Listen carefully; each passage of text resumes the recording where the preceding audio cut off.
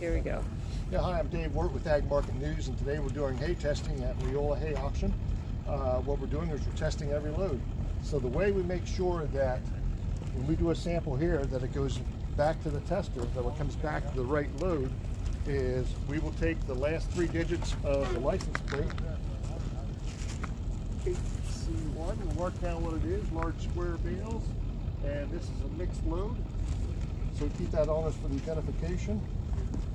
And when we're sampling, we try to sample out of at least three different bales to get a, a good uh, variety of the hay.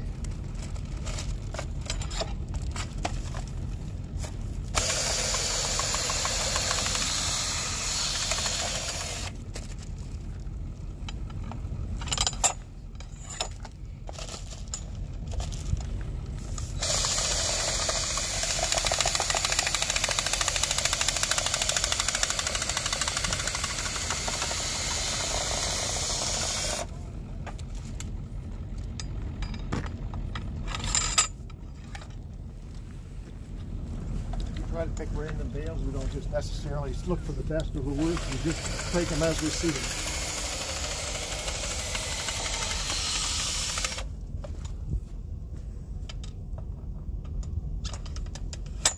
Okay, we'll show you how a sample's done.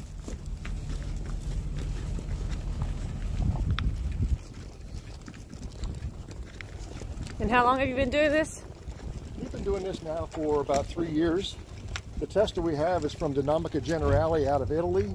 It's a portable lab.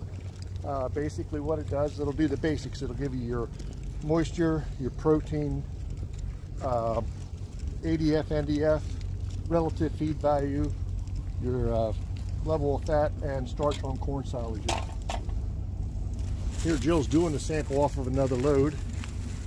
You can see you put it into the into the tester into the uh, forage box. And it has a choice of different levels different uh, types of hay forages. So what she's doing now is she's running a sample.